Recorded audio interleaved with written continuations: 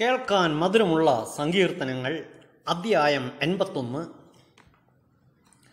ഉത്സവ ഗാനം. നമ്മുടെ ശക്തി കേന്ദ്രമായ ദൈവത്തെ ഉച്ചത്തിൽ പാടിപ്പുകഴ്ത്തുവിൻ യാക്കോബിന്റെ ദൈവത്തിന് ആനന്ദത്തോടെ ആർക്കു വിളിക്കുവിൻ. തപ്പുകൊട്ടിയും കിന്നരവും വീണയും ഇമ്പമായി മീട്ടിയും ഗാനമുതിർക്കുവിൻ. അമാവാസിയിലും നമ്മുടെ ഉത്സവദിനമായ പൗർണമിയിലും കാഹളമോതുവിൻ. എന്തെന്നാൽ അത് ഇസ്രായേലിലെ ചട്ടവും യാക്കോബിന്റെ ദൈവം നൽകിയ പ്രമാണവുമാണ്. ഈജിപ്തിലേക്ക് തിരിച്ചപ്പോൾ ജോസഫിനും അവിടുന്ന് ഈ നിയമം നൽകി. അപരിചിതമായ ഒരു ശബ്ദം ഞാൻ കേൾക്കുന്നു. ഞാൻ നിന്റെ തോളിൽ നിന്ന് ഭാരം ഇറക്കി വെച്ചു. നിന്റെ കൈകളെ കുട്ടയിൽ നിന്ന് വിടിവിച്ചു. കഷ്ടകാലത്ത് നീ വിളിച്ചപേക്ഷിച്ചു.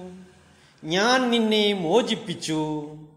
അദൃശ്യനായി ഇടിമുഴക്കത്തിലൂടെ നിനക്ക് ഉത്തരമരുളി. മെരീബ ജലാശയത്തിനരികെ വെച്ച് ഞാൻ നിന്നെ പരീക്ഷിച്ചു.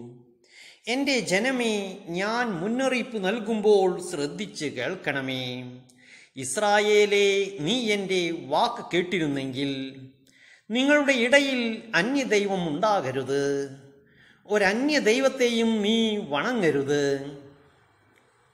ഈജിപ്ത് ദേശത്തു നിന്ന് നിന്നെ മോചിപ്പിച്ച ദൈവമായ കർത്താവ് ഞാനാണ്.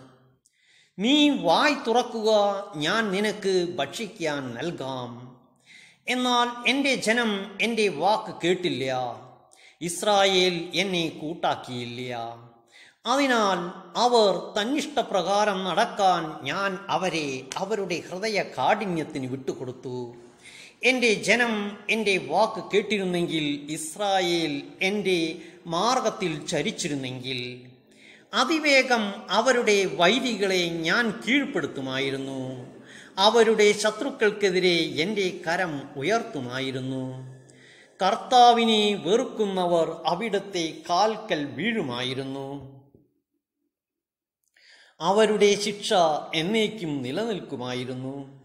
ഞാൻ മേൽത്തരം ഗോതമ്പ് കൊണ്ട് നിങ്ങളെ തീറ്റിപ്പോറ്റുമായിരുന്നു.